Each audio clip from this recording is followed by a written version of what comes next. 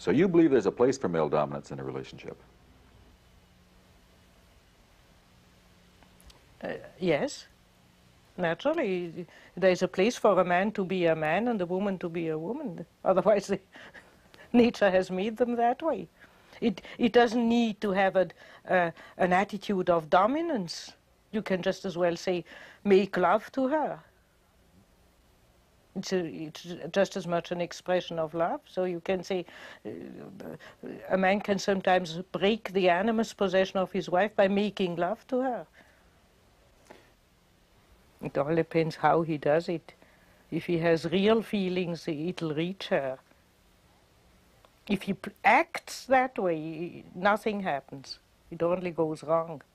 That's why I never advise when I analyze a man to do such a thing, because then he would do it acting.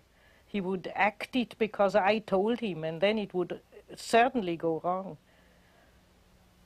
It only goes right if he really has a positive feeling, a wave of positive, warm feeling towards her.